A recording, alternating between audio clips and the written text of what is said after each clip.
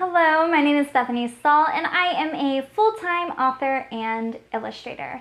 If you are new to my channel and you want tips about self-publishing, don't forget to like and subscribe so you can see every single time I post a new video. Also, if you are looking for additional tips and tricks about self-publishing, including documents, workshops, and more, go over to patreon.com slash Bethany Stahl and check that out where I have a ton more resources just for Patreon members. So today we're going to be covering hidden features within AMS. And these features aren't necessarily hidden, but they were hidden from me and my understanding of the program for quite a while because they're not actively accessible where you would think you could find more information. So with a little bit of digging, I found more features that are really beneficial. So we're going to be going over those today. I know I said we were going to do a Q&A today. However, I did not get questions. So I have no questions to answer. However, I am still having my workshop squad do a live stream focused on AMS ads. That is on June 29th at 11 a.m. Eastern Standard Time. So if you do have questions and you want to join into that, I'm going to be going over how I find even more keywords with more keyword finders and answering any questions and going over the program again, as well as a flow chart of how I figure out what to do next. So if that interests you and you still do have questions, head over and join the workshop squad. All right, so we are in one of my ads right now. And this ad is doing really well. It has a very low ACOS. I'm spending very little and I'm making lots of sales, which is really good. So we've already went over how to create the ads, how to fine tune the ads and make sure they're performing really well. And now let's learn how to look at all these other side things over here so we can figure out what is going on with the ad, how can we get more information from it, and how can we continue to improve with other ad sets. So right now we're on this ads tab. If we go to placements, we can now change how we feel about some of this other stuff. So do we want to pay more to be on the top of the page? Do we want to pay more to be on product pages?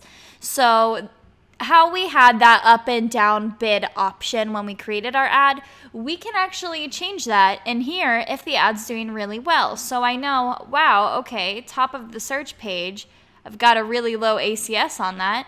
Sure, you can go ahead and spend 10% more.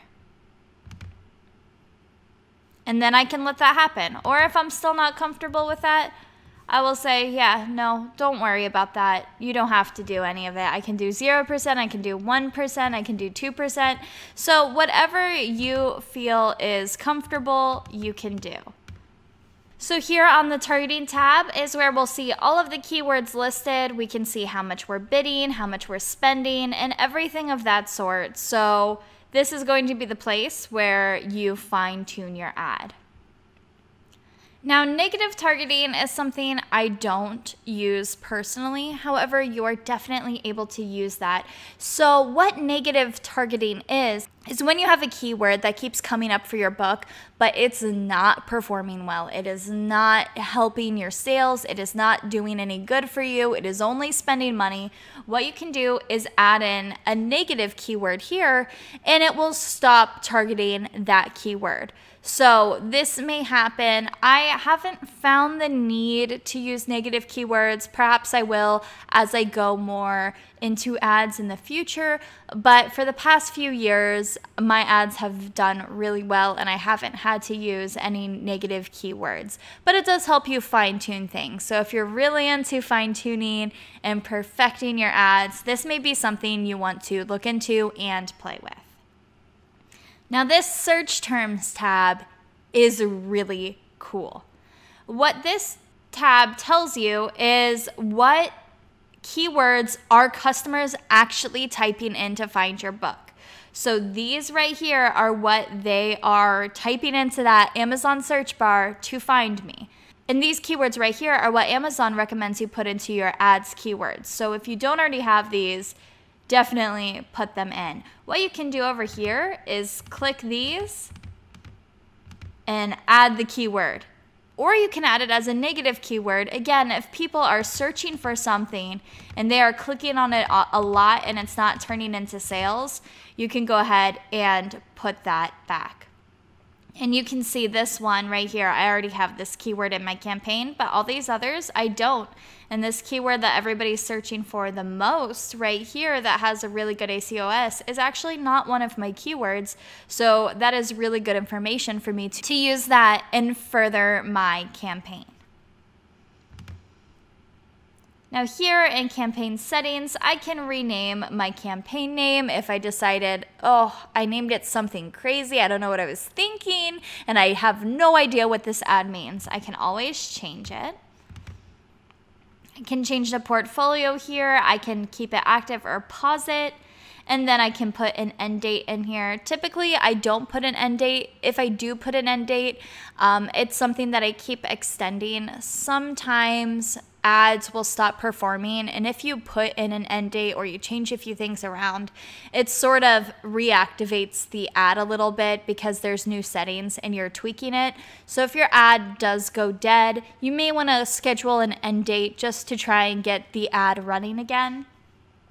I can change my default bid, my daily budget, and then any of these I can change, which is really cool. So I don't want you to create an ad and be worried that, oh no, I picked a setting and now I'm locked into it. I just did all that work creating an ad and I picked something wrong. Don't worry about it. Just come into these settings and you can change absolutely everything, which is great.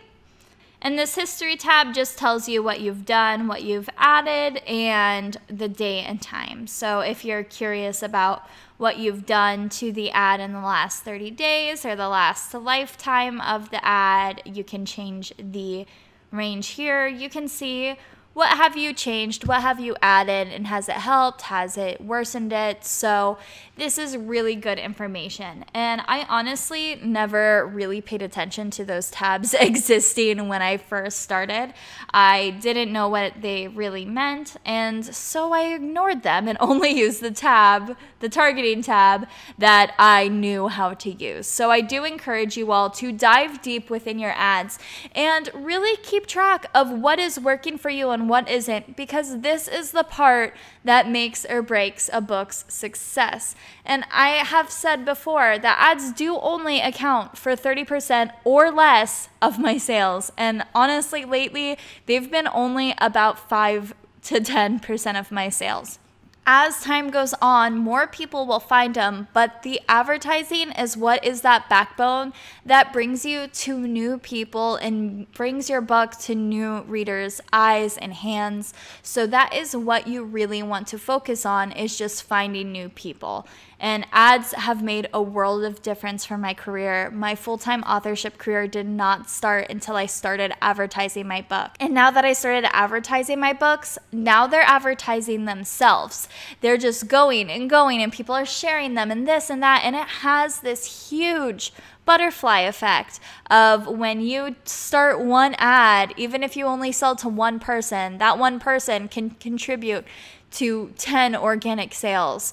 So never count ads out. I know it's overwhelming, and I know a lot of you, I've been talking to you through this ads course in the chats, and I've gotten a few messages on Patreon from you all that are really hesitant to start the ads. Please don't be hesitant. Keep your bids low, keep your daily budgets at $5 or less. You will not spend that full $5. I promise I've never spent a full $5. I have set my ads as high as a few hundred dollars per day just to see what would happen. And they did not spend anywhere near that. So don't be afraid to play around. It will be okay. Have just a little bit of money set aside. I think at first I was spending 20 to $50 a month on ads, but they were profitable. So you have to remember I was making all that money back. I've never ever been in the hole with my business ever. So I've never been unprofitable. And that's something that's really, really important to me is I don't allow myself to ever become unprofitable because then I can't afford to do this. So I always have been in the green from day one. So please make sure you guys are taking it slow and jumping into it. And if ads don't work, then there may be something else that you need to tweak with your book. And I will address all of that in the live stream workshop. So I hope this video has helped. I hope you've enjoyed this ads course. And I really encourage you all to try it out. And I wish you the best of success with your books. I am so proud of all the books I've seen that you all have shared with me. I cannot believe how amazing of authors are listening to this. You guys are blowing my mind with all of your talent. So thank you for joining me and looking into ads. I wish you so much luck. And if you did enjoy this video, please don't forget to subscribe and give it a thumbs up. It really helps. And I will see you all next time. Happy publishing. If you are looking for more information about publishing, go over to bethanystahl.com slash classes to see a huge collection of information that I have gathered for you separated out into topics. Now, most of these classes are free to access, but there are a few that are exclusive to my self-pub patrons. If you do want to join that, go over to patreon.com slash bethanystahl where you can join and get access to the classes as well as other behind-the-scenes tips, tricks, and documents that are exclusive to that squad. If you are trying to get into contact with me to ask questions, the best place to do that would be Patreon. I do see all of those messages and comments first, and I am able to reply to those almost immediately. So that is the best place for more individualized help. I hope this video has helped, and I will see you all next time.